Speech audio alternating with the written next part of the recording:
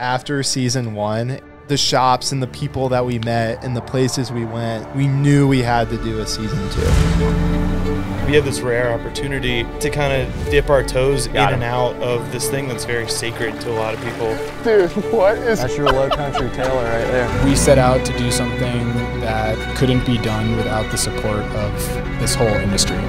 Got it. There it is. Nice, dude. Welcome back to Fly Shop Tour. Boom. Hey. Dear Lord, six pound, five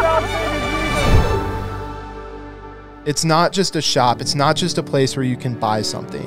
It is a center of community. And you don't get that in a big box store.